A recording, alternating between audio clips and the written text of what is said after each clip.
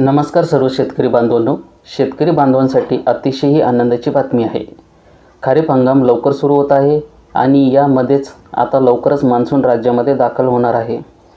आणि शेतकरी बांधवांना आता खरीपीच्या तयारी योग्य आहे तर संपूर्ण माहिती आपण घेणार आहोत. की भारतीय हवामान खात्यानं काय अंदाज व्यक्त केलेला आहे? त्याचबरोबर मान्सून मराठवाडा विदर्भ उत्तर महाराष्ट्र किती तारखेपर्यंत येऊ शकतो? याबाबत आपण संपूर्ण माहिती या व्हिडिओमध्ये बघणार आहोत.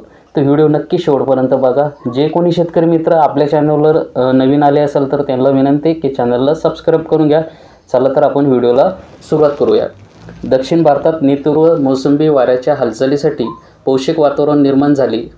असून संबंधित परिसरात बहुतांश ठिकाणी पावसाची शक्यता वर्तवली आहे. त्याचबरोबर अंदमान आणि निकोबार या बोटावरील बहुतांश ठिकाणी मान्सूनचे आगमन झाले. दक्षिण बंगालच्या उपसागरात देखील मान्सून येऊन आता पोहोचला आहे. महाराष्ट्रामध्ये किती परिणाम होऊ शकतो? कोणत्या जिल्ह्यात पावसाचा इशारा दिला आहे? महाराष्ट्रातील काही जिल्ह्यात आपल्याला विजेच्या कडकटासह पावसाची शक्यता देखील वर्तवण्यात आली आहे.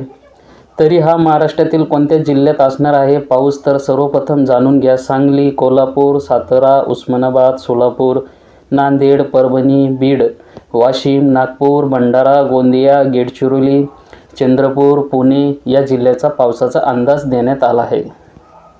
याचबरोबर येणाऱ्या काही तासामध्ये विजेच्या कडकटासह पावसाची सरी कोसळण्याची देखील शक्यता आहे.